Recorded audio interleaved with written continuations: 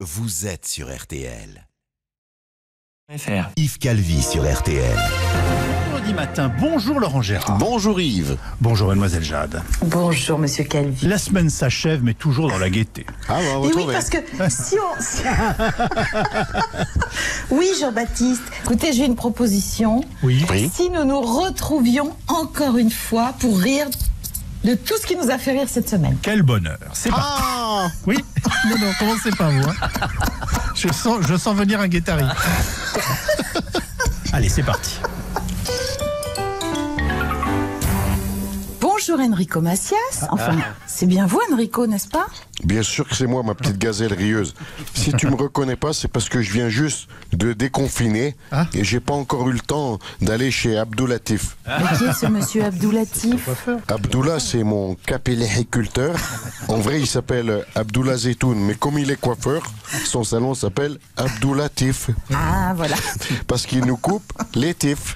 Et comme il était fermé Abdoulatif, c'est pourquoi que ça explique qu'avec mes cheveux tout blancs, tout frisés, qui ont poussé, je ressemble à Angelo Branduardi sous la neige. Oh là là. Bon, ça vous va pas si mal que ça finalement, hein 5 sur toi, ma petite princesse masquée.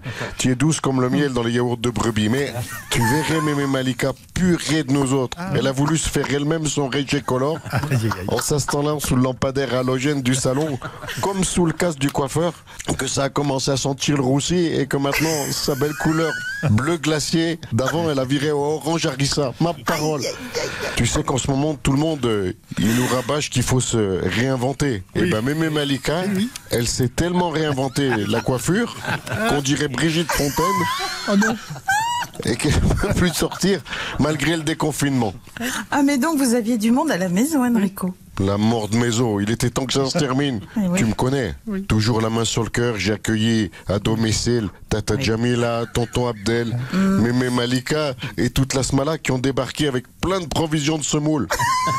On en a mangé, crois-moi, du couscous, couscous boulette, couscous poisson, couscous poulet, couscous agneau, couscous royal. On a même mangé du couscous fondu savoyard, Oh C'est le du meilleur. couscous cassoulet et du couscous choucroute qui est, qui est vraiment une innovation. Tellement qu'on en a mangé, qu'on en a eu marre que Tonton Abdel, il a voulu fabriquer lui-même un robot Thermomix pour faire des petits plats. Ça m'inquiète Ah bah c'est vrai qu'il est bricoleur, euh, votre tonton Abdel. M'en parle pas.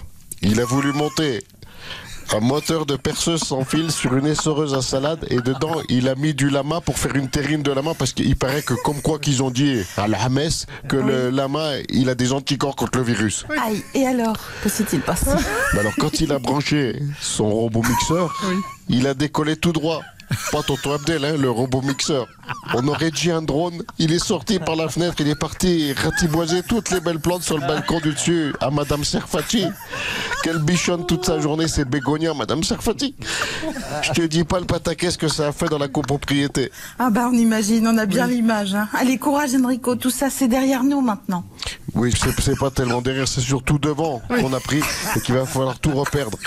J'ai grossi de 25 kilos. Oui, madame, j'en ai la preuve. Aujourd'hui, quelqu'un m'a dit Tu ressembles à Jean-Pierre Castaldi. La Bretagne, c'est génial. Ah, bonjour Yann Kefelec. Oh, vous avez vu la carte? Tout est en vert en Bretagne. Allez, Ah oui, hop. super. Ouais. Tout le monde sort Oui. de chez soi, même le loup, le renard, la belette. On va fêter le déconfinement. Le chouchen dans les fesses du tonnerre.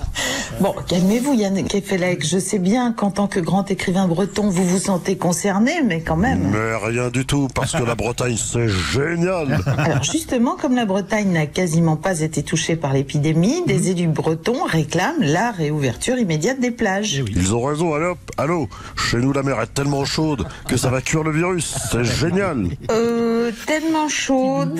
Un Oui. jour, à Perros-Grec, je me suis baigné, l'eau était à 13 degrés, un vrai jacuzzi. Certains élus bretons réclament aussi la réouverture des cafés et restaurants. Bah oui, parce que la Bretagne, sans une bonne galette complète, c'est plus la Bretagne. Et puis les crêpes, ça protège du virus, c'est génial. Comment ça? Qu'est-ce que vous dites? Tu manges ta galette complète et après, tu mets ta crêpe au sup sur le nez et la bouche, ça remplace le masque. Au moins, c'est agréable à porter, c'est génial. Ah, vous êtes forts les bretons. hein. On est invincible, allez hop Les Français, mettez-vous sous la protection de Sainte-Nolwenn-le-Roi, d'un Arbras, de l'Élysée. Mieux c'est qu'à Matignon. Et la France est sauvée. Et tu sais pourquoi Parce que la Bretagne, c'est... C'est génial. C'est génial. Prenons maintenant des nouvelles de l'ancien président de la République, Valéry Giscard d'Estaing, qui fait l'objet d'une plainte pour agression sexuelle, vous le savez. Alors Valéry Giscard d'Estaing, vous m'entendez? Allô? Oui. Oui, oui. Je- Qui, c'est- qui c'est encore hein? C'est encore la télé allemande? Non, non, pas du tout, monsieur le président, c'est Jade à RTL. Ah, c'est vous? Comment ça va, vous? Hein? Mais très bien, merci, à distance. Nous voulions savoir euh, comment vous comptez répondre à cette plainte pour agression sexuelle qui vous vise, car selon la plaignante, c'est lors d'une interview pour le centième anniversaire de la naissance d'Helmut Schmidt. Ah, Helmut, je le connais, Helmut Schmidt, Helmut Schmidt. Et quand je repense à Helmut Schmidt, ça, ça me fait quelque chose.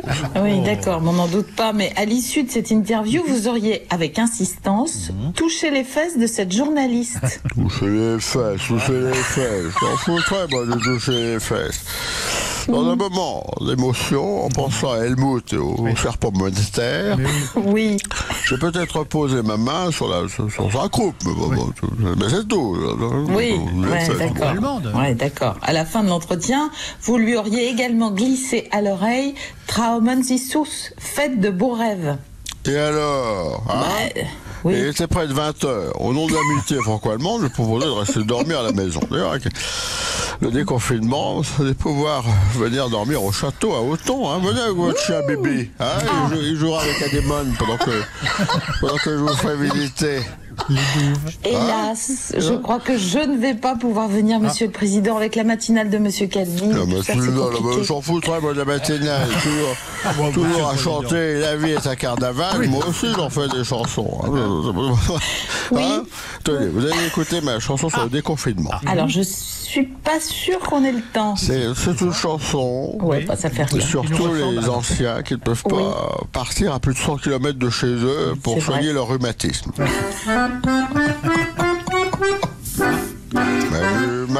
Manu Macron, tu déconfines, tu déconfines, mais on marche pas, mais on marche pas. Dans ta combine, dans ta combine, on a les boules, on a les boules, on veut aller, on veut aller, comme chaque année, comme chaque année, à la bourboule, à la bourboule. Je veux faire notre cul et jouer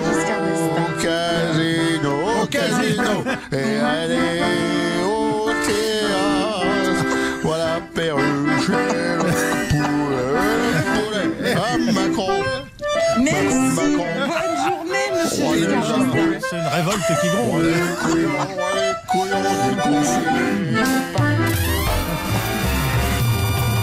La semaine a passé bien vite.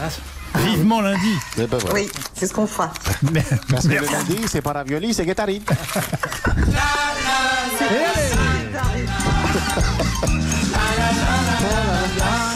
Bon, ben, bon week-end à tous. Hein.